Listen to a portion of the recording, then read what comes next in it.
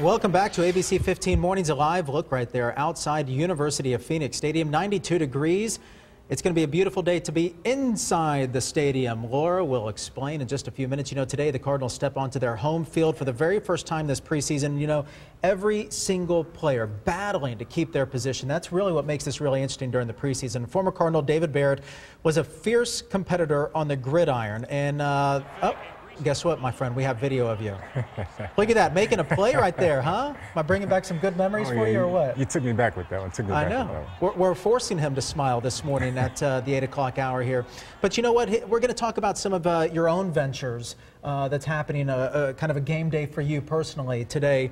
But uh, I want to talk about. Um, the Cardinals, you know, they they got a lot of a lot of players trying to make the roster. They're cutting down to 76 players. I want to ask you, what's it like for those guys trying to make that trying to make that roster? It's it's work. I mean, uh, it's something that they, they know they've done all their life, and, mm-hmm. and it's something that comes easy to them. But it's also they have to go out there and motivate themselves to do it every day, day in, day out, to go hard and, and play hard because there's always someone behind you who wants to take your job. So you have to be yeah. out there and be on your game at all times. It's a job. I think a lot of people don't realize that. And you you know, as we look at video of uh, Carson Palmer, we know those guys are on the roster. We know that he's the starter. But, but David, when you have the backups coming in, the guys trying to make the team, are the fans really getting a chance to see them going full speed? Well, you know, it's the preseason, so you don't really get to get, get to see that full effect until yeah. the regular season starts up. But uh, as they're out there, you, are going to see the full effect of what they're doing, but it's not going to be to the caliber of, of, that you want it to be. Exactly, and as always, the Cardinals have some uh, some key players. Larry Fitzgerald, of course, uh, just a critical force for the league. You're smiling when I mention Larry. Uh, what kind of role does he play during the preseason? More of a, a, leadership role, I take it. Yeah, I would say it's more of a leadership role. He's he's a veteran, so he knows the game. He's been there. He knows what it takes to get it done out there on the field. So he's going to go out there and motivate his guys to go out there and, and have the best players out on the field to help him out. Is it uh, fun for somebody like yourself who had already made the roster, you've been there, going through these preseason games and trying to educate uh, the younger guys? Well, it's always fun. I mean, the, the younger guys come in, uh, you know, big bushy-eyed, not yeah. knowing what's going on, but, yeah. you know, as they get out there on the field, you know, um, the, the veterans start showing them the right, right things to do and the right way of, of going and being a pro.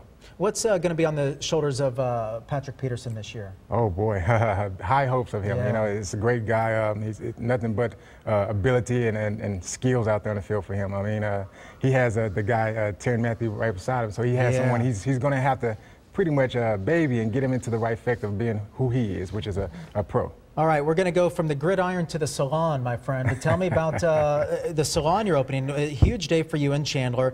This spa offers everything from haircuts, you got barbers there, you got hairstylists, yes. and even tattoos. Oh yes, oh yes. It's all around. It's a one-stop shop. Uh, we have everything there. You can come there, get your get your nails done, get your hair done, get an edge up, you know, get a tattoo, uh, massage. Wow. Uh, we also have a, a, Botox lady who will be coming in uh, oh. at least once or twice a month. Uh, so um, we have threading, you name it. We have it there. So it's a one-stop shop. But now there's the information on your screen. What are the cross streets here? Is that uh, Germann and Alma School? Is yes, right? it's uh, Germann and Alma School. Yes, and what time?